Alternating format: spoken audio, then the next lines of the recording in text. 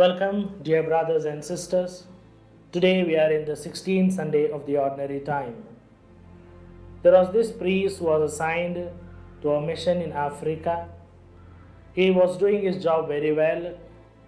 He built a church for them, baptized many of them, an hospital, a school. Because of his hard work, because of his dedication, he called up many people to come into Christian faith. But because of his hard work, he fell sick. He felt so sick that there was no medical center in his own place, and therefore he was called to go back to his native. He went back to his native place, took rest for a month, got treated, and came back to his mission. But there was a surprise for him. The surprise was all those whom he had baptized has abandoned the faith. The church what he had built was occupied by somebody else, and all his work was in vain. He was so sad. He asked this question to himself Where did I go wrong? What has happened? There was this old lady from his parish told, Father, you gave clothes to our children, you gave education to our children, but you never brought our children to Christ as our Savior and our Lord. Doing the work of the Lord is good, but never forget the Lord of the work, which is most important and essential in our ministry. Dear brothers and sisters, today, as I said, we are in the 16th Sunday of the Ordinary Time, and the theme of today's liturgical celebrations would be work and prayer.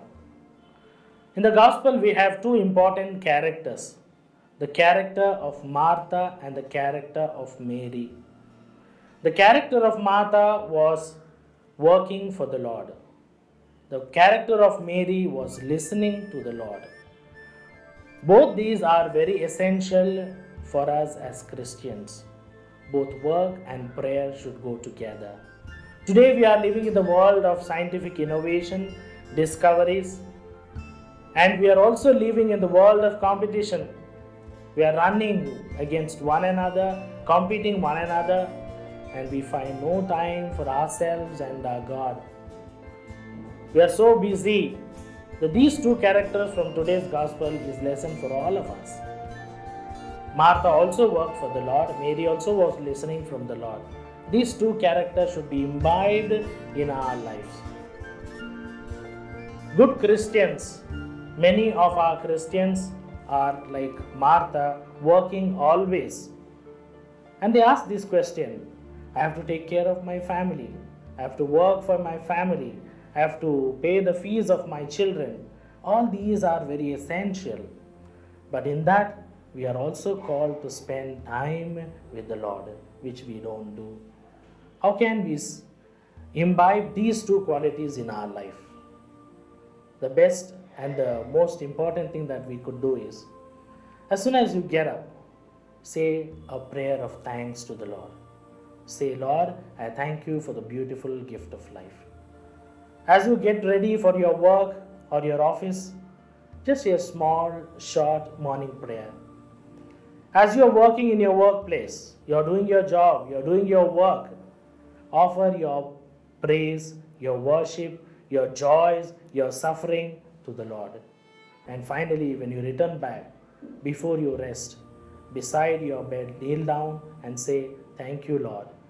And also ask pardon for all the sins that you have committed. And this would be the ideal thing wherein we combine the character of Martha and Mary.